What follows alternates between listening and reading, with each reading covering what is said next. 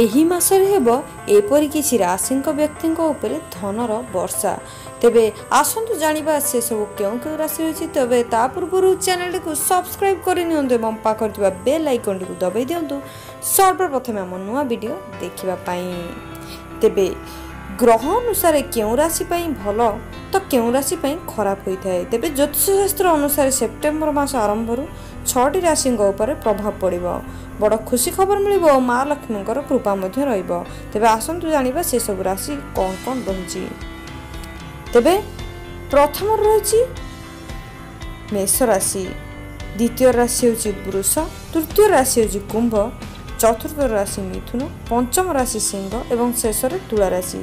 ତେବେ ଜ୍ୟୋତିଷଙ୍କର କହିବା ଅନୁସାରେ ଗ୍ରହର ଚଳନ ଯୋଗୁଁ ଏହି ରାଶି ଗୁଡ଼ିକର ଭାଗ୍ୟ ବଦଳିବାକୁ ଯାଉଛି। ଏହି ଛଅଟି ରାଶି ଉପରେ ମା ଲକ୍ଷ୍ମୀଙ୍କର ବିଶେଷ କୃପା ରହିବ।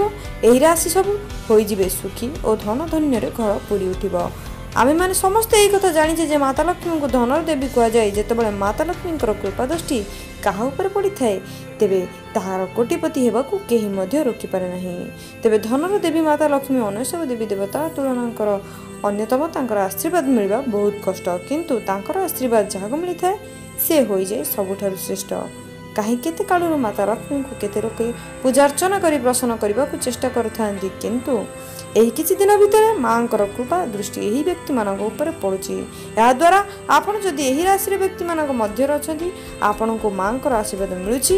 ଏହାଫଳରେ ଆପଣଙ୍କର ଭାଗ୍ୟ ମଧ୍ୟ ବଦଳିବାର ସମ୍ଭାବନା ରହିଛି। ତେବେ ଇଏ ଥିଲା ଆଜିର ଭିଡ଼ିଓ ଏମିତି ନୂଆ ନୂଆ ଭିଡ଼ିଓ ଦେଖିବାକୁ ଚାହୁଁଥିଲେ ଚ୍ୟାନେଲଟିକୁ ଲାଇକ୍ କରନ୍ତୁ ସେୟାର କରନ୍ତୁ ଏବଂ ସବସ୍କ୍ରାଇବ୍ କରନ୍ତୁ। Yeah, that's my Maserati going ham. No salami, that's your chick. If I like it, then I'm straight. Vote